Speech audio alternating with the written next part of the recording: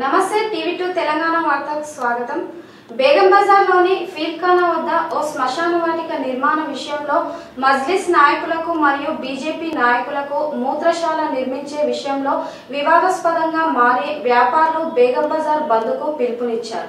స్థానిక కార్పొరేటర్ శంకర్ యాదవ్ ఆధ్వర్యంలో మార్కెట్ బంద్కు సహకరిస్తామని బీజేపీ నాయకులు ఆందోళనకు దిగారు.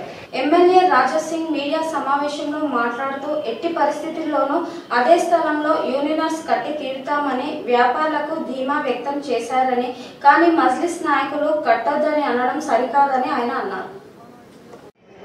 ఎన్నో సంవత్సరాల ముందు దాదాపు అరవై సంవత్సరాల ముందు ఇక్కడ పబ్లిక్ గురించి టాయిలెట్ ఒక వ్యవస్థ అక్కడ కట్టినారు. దురదృష్టం ఏంటంటే తెలంగాణ ఏరియా మొత్తం మార్కెట్ ఏరియా.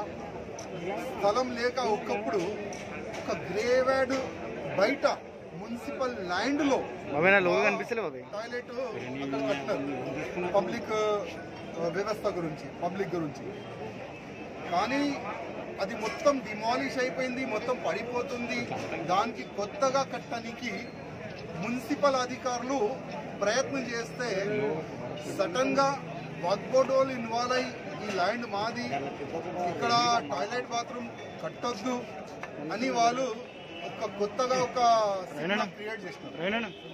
దాని తర్వాత మున్సిపల్ నుంచి మొత్తం డాక్యుమెంట్స్ కూడా ఈ వక్ బోర్డులకి చూపెట్టినారు. అసలు మీ బోర్డ్ ల్యాండ్ లేదు. ఇది మున్సిపల్ ల్యాండ్. మీరు వక్ బోర్డ్ ల్యాండ్ ఎట్లా అంటారు అని కూడా లోకల్ పోలీస్ స్టేషన్లో వక్ బోర్డు పైన కంప్లైంట్ ఇచ్చినారు. వాళ్ళపైన ఎఫ్ఐఆర్ కూడా అయింది. మళ్ళా నైట్ నైట్గా అక్కడ కావాలని ఈ ఎంఐఎంఓలు ఒక కమ్యూనల్ వాతావరణం కావాలి అని నైట్ నైట్ ఒక గేట్ అక్కడ పెట్టేసినారు. మళ్ళా మున్సిపల్ అధికారులు ఆ గేట్ తీయనికి నిన్న ప్రయత్నం చేస్తే ఈ ఎంఐఎంఎల్ మొత్తం ధర్నా ఒక కమ్యూనల్ వాతావరణం చేయడానికి వాళ్ళు ప్రయత్నం చేసినారు. కానీ మున్సిపల్ కమిషనర్ గారికి నిన్న నేను మాట్లాడినా పోలీస్ అధికారులతో నేను మాట్లాడినా వాళ్ళు ఒకటి ఒక మాట అంటున్నారు. కోర్టు ఆర్డర్ ఉంది ఎట్టి పరిస్థితుల్లో ఎక్కడ టాయిలెట్ ఉండే అక్కడనే మేము కట్టిస్తాం అని మున్సిపల్ కమిషనర్ గారు అంటున్నారు. పోలీస్ అధికారులు కూడా ప్రొటెక్షన్ ఇవన్నీ కూడా రెడీ ఉన్నారు. కానీ నిన్న పని స్టార్ట్ అయిన తర్వాత మళ్ళా సడన్గా పని ఆపేసినారు.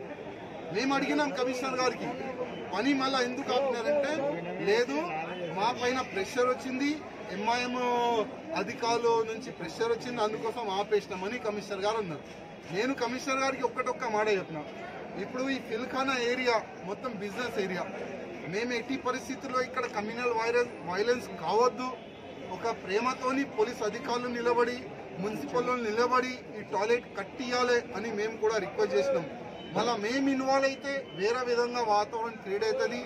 అనవసరం పబ్లిక్కి ఇబ్బంది అవుతుంది కూడా మేము కమిషనర్ గారికి రిక్వెస్ట్ చేస్తే కమిషనర్ గారు మాకు హామీ ఇస్తున్నారు. ఎట్టి పరిస్థితిలో కోర్ట్ ఆర్డర్ ప్రక- ప్రకారమే మేము ఒక వారంలో మళ్ళొకసారి పోలీస్ ప్రొటెక్షన్ పెట్టి అక్కడ టాయిలెట్ బాత్రూమ్ కట్టిస్తా అని కమిషనర్ గారు అంటున్నారు. కానీ మాకు నమ్మకం లేదు. ఎందుకంటే ఇవాళ ఎంఐఎం ప్రెషర్లో వచ్చి మీరు పని స్టార్ట్ చేసిన తర్వాత ఆపినారంటే ముందు కూడా మీరు పని స్టార్ట్ చేస్తారని మాకు నమ్మకం లేదు. కానీ మళ్ళొకసారి అవకాశం మేము కమిషనర్ గారికి ఇస్తున్నాం. మీరు చెప్పిన మాట పైన వారంలో మీరు ఆ టాయిలెట్ కట్టిస్తే చాలా మంచిది. లేకపోతే వాళ్ళ దగ్గర శక్తి బలం ఉంటే దానికన్నా ఎక్కువ శక్తి బలం మా దగ్గర ఉంది. పదివేల మందిని పెట్టి అదే స్పాట్లో టాయిలెట్ మేము కట్టుతాం మళ్ళీ ఏదైనా కమ్యూనల్ వాతావరణం కానీ ఏదైనా కింద మీద అయితే దానికి బాధ్యతుడు మున్సిపల్ కమిషనర్ గారు ఇంకా పోలీస్ కమిషనర్ గారు అని నేను చెప్తున్నాను.